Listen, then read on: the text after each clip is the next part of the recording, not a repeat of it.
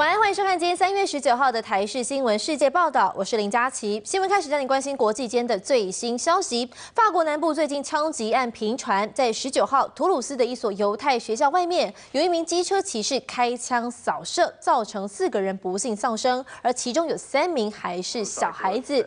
法国南部过去一周有好几起枪击枪击案件发生，上周也是在图鲁斯这个地方，有个军人遭到机车骑士枪杀身亡，而图鲁斯北方的。蒙托班这个地方呢，十五号则是有三名军人在购物中心遭到歹徒开枪射击，其中有两个人伤重不治。而法国警方正在清查这几个案子的当中间呢，到底有没有关联？全力气胸当中。